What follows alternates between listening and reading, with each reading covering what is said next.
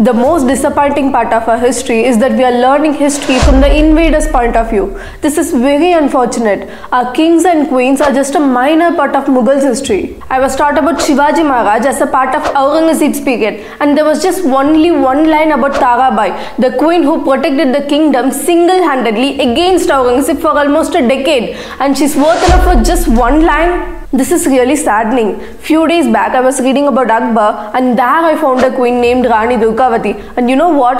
Her bravery and sacrifice was worth enough for just four lines. So here I am unfolding the untold story of Rani Durgavati. Durgavati was the daughter of the king of Bundelkhand, and she was married to Raja Dalpat, the king of Gondwana, which now comes under the Madhya Pradesh. Unfortunately, Raja Dalpat died when their son Veer Narayanan was just five years old. Now Rani Durgavati, being a widow and a mother of a toddler, takes control over the kingdom and managed it exceptionally well. She divided the country into several small kingdoms and there were totally 70,000 villages. And one third of it were directly managed by her and the rest of the part was subordinate like she appointed leaders who will work under her control. Abul Fazl, the contemporary historian of Akbar's court says that the Rani's courage, guidance and kindness was such she brought the whole kingdom under her control and she was a great hunter The Abul Fazl says if a lion was sighted anywhere in her terrain, she would not drink water until she shot it down. She was beautiful, courageous and a queen of a rich kingdom.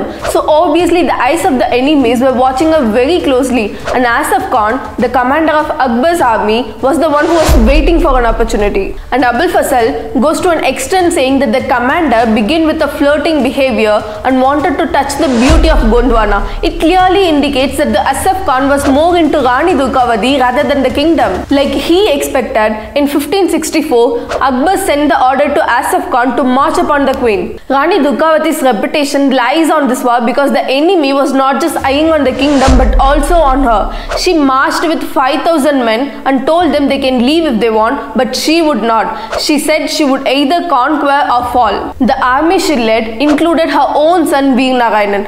At the opposite was the Mughals army which had had 10,000 cavalry alone. That was literally double the size of the queen's army. Still, the queen managed to lead the army very well and killed 300 opponents. Abul Fazl, the historian, says the Rani was victorious. That same evening, she held a council and proposed a surprise attack on the opponents, but no one agreed to it. She again proposed her idea, this time to a much smaller group of her most loyal men, but still no one agreed to it. The next morning, as the queen predicted, Asaf Khan was indeed in a better position position. Still, the queen's men fought their best. The battle continued for three days and it was a bloody, exhausting struggle. Veer Narayanan, the only son of the queen, broke through the enemy's army three times, but unfortunately, he got wounded.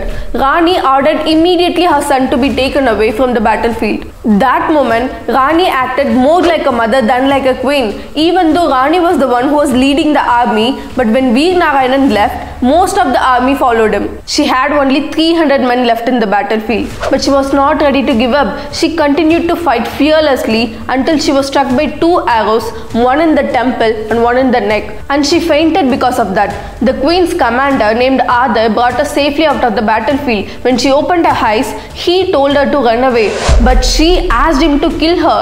But Adar refused. Obviously, he did not have the courage to take the life of his queen. Rani Durgavati then pulled out her dagger and killed herself. She decided to die respectfully rather than falling in the hands of a man who was waiting with nothing but lust. And Asaf Khan captured a thousand elephants and this was nothing compared to the treasure that was yet to come. Veer Narayanan fled to the fort of Chauragarh which was the warehouse of their treasure and after two months Asaf Khan's army reached there and the young king was killed. The Mughal soldiers found a lot of wealth in that fort, including 100 literal pots of gold. After spending 4 days in that fort, they opened a room and found a room full of burned bodies of women. Yes, the women in that fort performed jauhar. They decided to burn themselves rather than being sex slaves. Unfortunately or fortunately, two women survived. One was an unnamed princess, the other was Rani Durgavati's sister Kamalavati. Both were hiding behind a large piece of wood that it saved them rather than burn them. And obviously, those two women were sent to Akbar's court as slaves. And this is the story of Rani Durgavati, which the historians thought not worth more than few lines.